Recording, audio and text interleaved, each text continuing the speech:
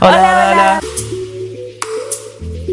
Bienvenidos chicos a un video más. Muchísimas gracias familia hermosa por estarnos acompañando y sobre todo por estar formando parte de esta pequeña gran familia que es un mate mexicanizado. Sabes amor, cuando yo vine aquí a Argentina la verdad me sentí un poco triste porque había algunas cosas que extrañaba de México obviamente pero a su vez también me confortaba mucho porque conocí nuevas cosas, degusté nuevos sabores, conocí nuevas personas y la verdad que detallitos así e incluso más grandes son los que hacen que te vuelvas a sentir como en casa. Lo que conlleva que me haya enamorado estando viviendo aquí en Argentina de muchísimas cosas que tiene este hermoso país. ¿Quieres saber cuáles son?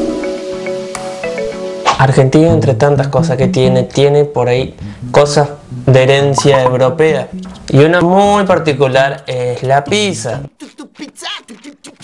De descendencia muy italiana. No, ni hablemos de, de pizza de comida, no, la verdad, la pizza argentina, se los prometo, es la más rica que he probado. Dejando de un lado también que me encanta la chimichurri mexicana, la que le ponemos a las pizzas, pero siento que si esa chimichurri se la pondría a la pizza argentina. Quedaría un poco rica, pero siento que la estaría saturando de salsas y perdería el sazón. Algo que conlleva también el queso argentino. No, no, no, no hay como el queso argentino. aunque también existe el queso Oaxaca en México, que es muy rico, pero acá la mozzarella, el queso cremoso, el queso pisero, no,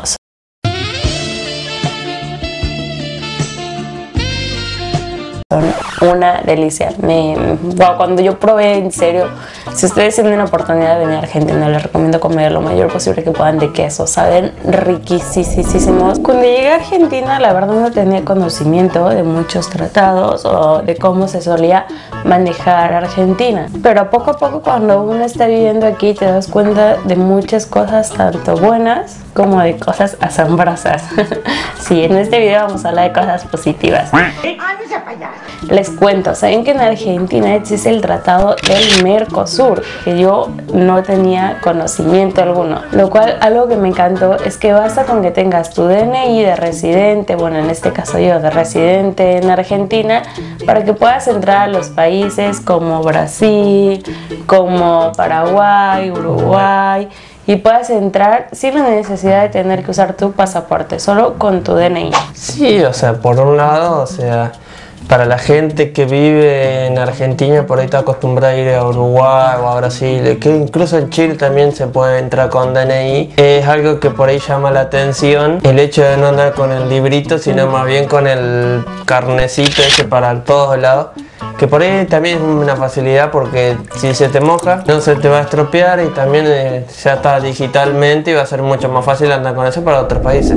Eso me pasó una de las tantas veces que fuimos a México que quise buscar asado, carne asada y el cual no encontré precisamente lo que es carne asada, el asado típicamente argentino, sino imitaciones por ahí baratas que en muchos lugares, en lugares de plazas comerciales carísimas, que los venden carísimo y realmente no son el asado, sino gente que se quiere aprovechar de eso poniendo una bandera o un nombre para vender. La verdad que sí, cuando llegas a Argentina creo que es algo de lo que te terminas enamorando, de su deliciosa y única carne que solamente puedes encontrar en este bello país. La verdad que carne como Argentina no van a encontrar dos. Es riquísima, los cortes son muy, o sea, son grandes, carnosos. Que es muy obvio que sí. Y suelen estar deliciosos. Creo que si me mudaría nuevo México a otro lado, creo que sería lo que más extrañaría. Puede que en un mundial puedas ver la pasión y el empeño que la gente le tiene al apoyar a su equipo preferido de fútbol. Pero realmente cuando vives en Argentina te das cuenta que no hay pasión como la Argentina. Estaba Vanega y al final fue un central el que provocó esa locura en Argentina. Apareció Marcos Rojo, el centro de mercado, y estalló un país entero.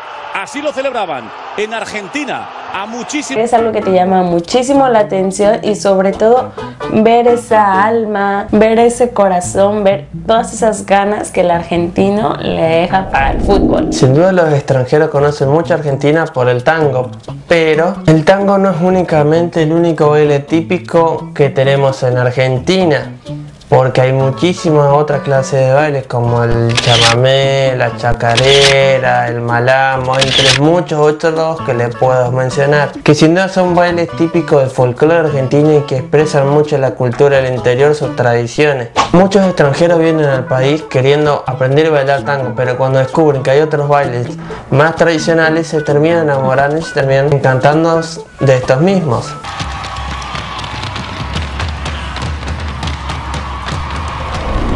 Si bien el día de ayer le comentaba a yo que si nos mudáramos otra vez a México, nos mudáramos a otro lado, creo que lo que más extrañaría de Argentina serían sus postres, incluyendo en ello helados, alfajores, eh, tortas, que la verdad como los que existen en Argentina no hay dos. El dulce de leche, el arroz con leche. Oh man. Wow y que gracias a mi suegra y gracias a otros conocidos he aprendido a hacer y creo que como estos postres únicos de Argentina no hay dos. Los helados argentinos en serio son muy muy ricos. No sé si en otros lados existe el helado de flan, pero al menos aquí en Argentina la primera vez que lo he probado y quedé enamorada. Como los alfajores, no, es, lo más rico me van a decir. Bueno, a mí piensa en comida, comida, comida, comida, pero no es que los postres argentinos son únicos. Y bueno, el helado tiene lo suyo, pero bueno, yo pienso que para mí me gusta más la nieve que el helado, pero bueno. Bueno, es que pasa que también hay nieve muy rica allá, como hay helados acá. O sea, para crema está bien acá, pero la nieve ya es diferente porque pues se hace a base de hielo y es otra, o sea, es otra ¿cómo decirlo? O sea, es, consistencia. Y tiene como un laburo más artesanal y claro, también sabe rico porque sabes que lo que estás preparando es naturalmente.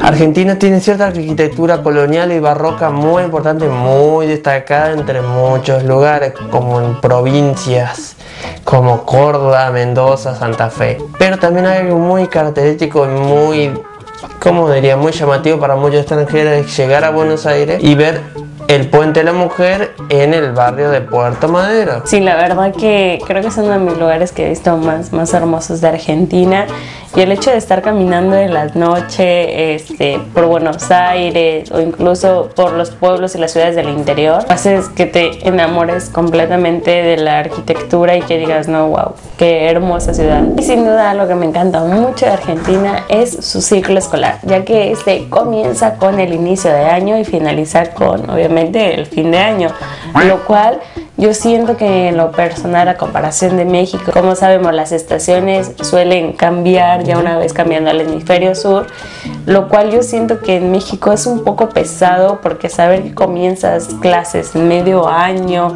y luego es como que un poco medio pesado, al menos a mí se me ha hecho más, o al menos a mí se me ha hecho un poco más pesado.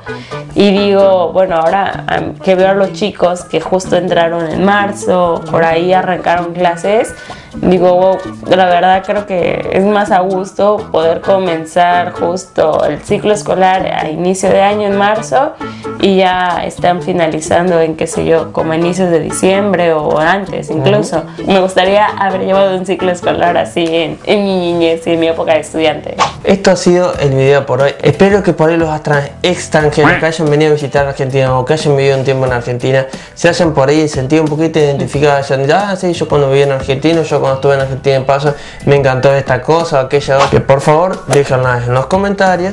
Y esperamos algún día muy pronto poder viajar a México y poder compartir con muchos mexicanos lo que es el verdadero mate, otra de las cosas también que a muchos extranjeros les gustan, para que realmente conozcan cómo es el mate realmente y sepan apreciar también esta bebida típica.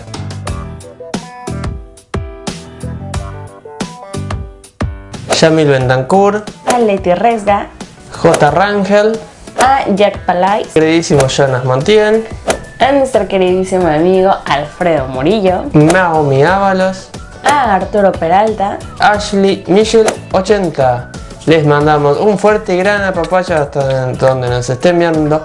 Los queremos muchísimo y les agradecemos día a día por formar parte de esta pequeña y gran familia que es un mate mexicanizada. Que si aún no formas parte de esta pequeña gran familia, te invitamos a hacerlo. Es súper sencillo. ¿Cómo tienes que hacer, amor? Lo primero importante, les tienen que dar un clic aquí abajo en el botón rojo que dice suscribirse y suscribirte. Luego darle un clic en la campanita para activar las notificaciones para saber cuando estemos subiendo videos. Como al igual, recuerda que si a ti te gustaría que te saludáramos en el próximo video, no olvides comentar en la parte de abajo para con muchísimo gusto poderlo hacer. Y por favor, antes de que te vayas, no olvides regalarnos un like, es totalmente gratis. Así que sin más, nos estarán viendo cuando haya algo nuevo que aprender sobre Argentina, sobre México, más sobre sus tradiciones y culturas. Así que, ¿cuándo será esto, amor? Para la próxima. Bye. Bye.